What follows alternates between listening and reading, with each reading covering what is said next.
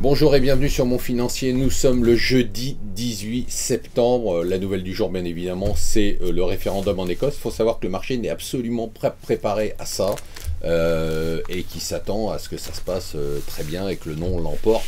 Si c'était le oui, ça serait bien évidemment la cata. L'autre cata, c'est les impôts. Voilà, on ne s'y retrouve plus. Impôt sur le revenu, ce qui va vraiment changer. Valls concentre l'impôt sur les classes moyennes et aisées. Qu'est-ce qui s'est passé? Ben, Le gouvernement a décidé, nouvelle surprise, de supprimer la première tranche d'impôt. Alors c'est très sympa de faire des cadeaux. Le problème c'est que malgré les affirmations du gouvernement, eh bien, ce sont bien évidemment les classes moyennes et les classes aisées qui vont payer.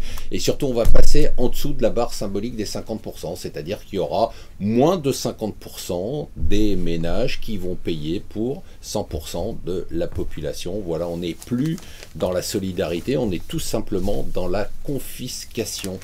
Même les hôpitaux le demandent, voilà, sortir enfin des 35 heures, le carcan des 35 heures qui fait exploser le coût de fonctionnement des hôpitaux et surtout qui provoque, excusez-moi l'expression, un bordel généralisé. Alors hier, c'était la Fed. Eh bien la Fed a décidé finalement qu'elle ne ferait rien. Ça c'était la première interprétation, qu'elle laisserait les taux bas.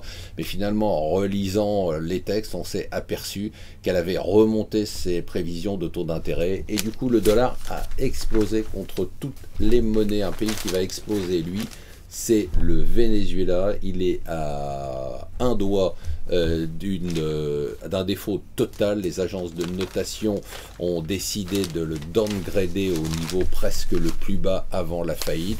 Il faut savoir que le Venezuela doit euh, rembourser une partie de ses dettes au mois d'octobre et ce montant correspond à un tiers de ses réserves de change, donc il ne pourra pas le faire. Donc il sera en défaut. Voilà, restez avec nous sur mon financier.